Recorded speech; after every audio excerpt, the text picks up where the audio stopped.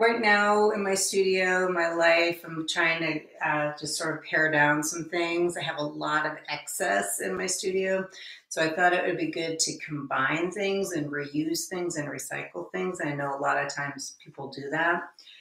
But I found these baton twirlers and I thought to myself, it could be fun to combine these two paintings or these two elements together. Like a lot of times you'll see me combine paper together. But since this is such a heavy material, if you're to cut up your paintings like this, which I love to do all the time, but if you're to do that and you're to adhere like a thick canvas like this to a thick painting like this, you want to use a really good adhesive. And so that's when I use um, my heavy gel medium because this might be you. You might have some giant paintings that you like, but you're not in love with, and maybe you want to combine them. Um, I'm going to just quick take you through the process. So what you want to do is have a nice clean flat surface, which I don't have.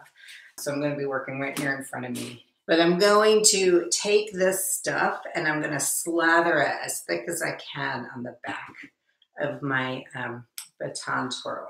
A credit card is really good for this, or a palette knife. I'm going to use the credit card and really scoop it on. And I mean, you got to use a lot of material, a lot of product when you're doing this. And then take your card and just scrape it over. I will hold this up in a second.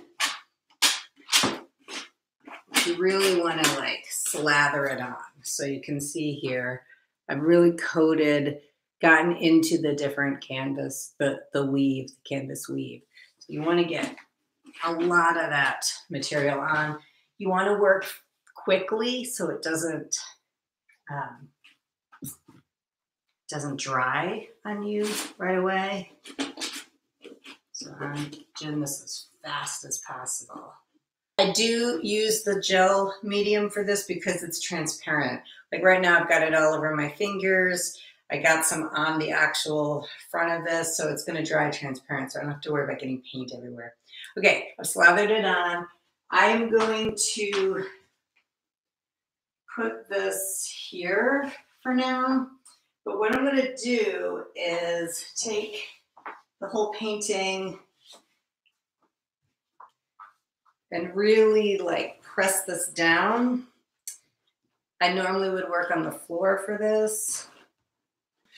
And then I am going to let it dry like this.